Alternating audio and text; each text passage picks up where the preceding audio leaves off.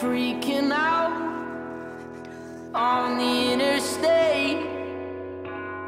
Rolling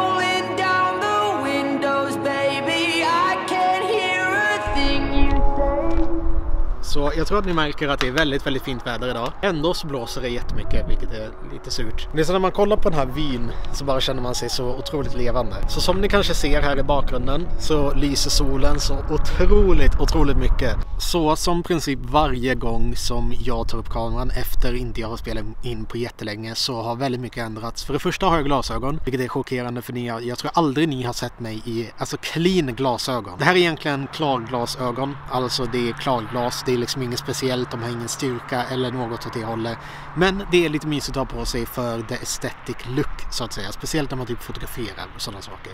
Brukar jag bara älska att ha de här glasögonen på mig. Lite mer saker som har förändrats. Jag skadade tummen vilket var lite irriterande. Ehm, jag spelar in i 4K nu istället för 1080p vilket jag ska försöka börja med. Bara för att göra mitt arbete ännu svårare på grund av att det tar så mycket mer kraft av både kameran men sen också datorn. Eh, vilket jag tyckte att det var smart. Eh, I alla fall, det är fortfarande kallt men inte inte lika kallt som det har varit förut. Det är, alltså, det är betydligt mycket bättre väder nu än vad det har varit överhuvudtaget under hela kommande veckorna som har varit. På grund av att det har varit vinter. Jag märker av det att jag är inte bra på att snacka så här första gången på jättelänge. Det, det är lite spännande. Det blir, det blir en udda video ibland. Jag mår rätt okej. Okay. Jag överlever för tillfället. Det har varit lite jobbigt nu i skolan. Det, jag klarar liksom inte av den här distanslektionerna. Eh, och det är väldigt jobbigt för mig.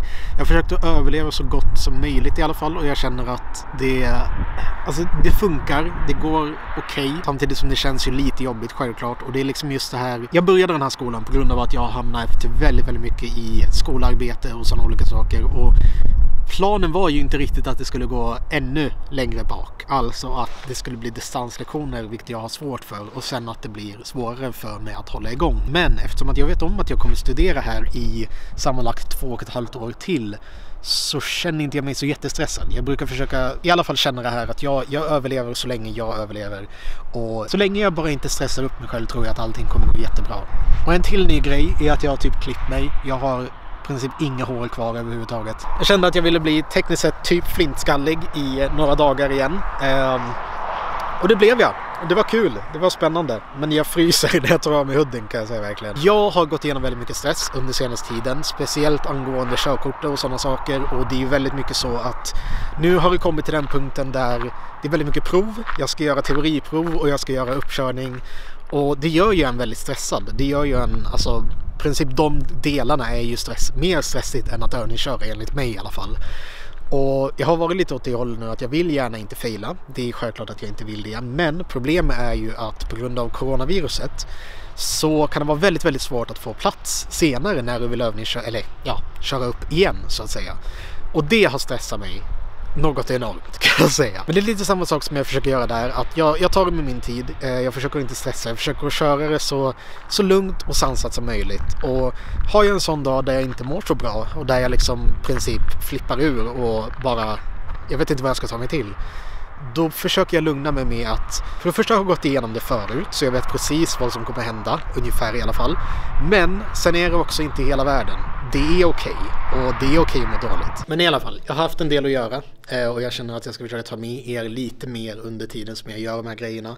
Eh, det är mestadels, mestadels just nu att jag i princip inte har så mycket, alltså om man säger så här, jag har inte så mycket saker som jag kan ta med er på. Det är typ om jag ska in till stan och handla känns inte riktigt som en grej som jag skulle vilja filma. Det känns lite eh. Men om jag gör något framtida äventyr eller något sånt så tänkte jag absolut ta med er. Speciellt typ vlogga och sådana olika saker. För jag känner att jag vill göra det lite mer med den här nya kameran. Eftersom att jag köpte ett objektiv typ princip enbart för att vlogga. Men sen också att jag skulle ha ett vidvinkelobjektiv så det var inte så mycket mer till det. Men i alla fall. Jag hoppas att du mår otroligt bra där ute och att du tar hand om dig själv och allt däremellan. Och som sagt, om du är i samma stadie som mig, försök bara att rulla ut på vågen och hitta de små och de mysiga delarna att göra i det hela så att säga. För jag tror att det är väldigt viktigt i alla fall att försöka hålla sig uppe på grund av att som sagt, jag mår inte någon jättebra under den här distansgrejen överhuvudtaget. Jag tycker det är jättejobbigt men jag försöker allt vad jag kan att hitta, inte utvägar, det känns lite konstigt att säga, underlättande vägar. Vägar som löser En väg runt om, jag vet inte. Jag försöker göra det bästa för mig i alla fall för att må rätt okej. Men det var faktiskt allt för den här videon, väldigt stort tack att ni kollade på den. Jag hoppas att ni har haft en helt fantastisk dag. Om inte din dag var underbar hoppas jag att nästa kommande dag blir helt underbar för dig. Ta väl hand om er så ses vi i nästa video. Tack för att ni kollade, ha det bäst, hejdå. By the way, tack till 800 prenumeranter. Det är helt fantastiskt. Ni alla är fantastiska. Ta hand om er. Hej då.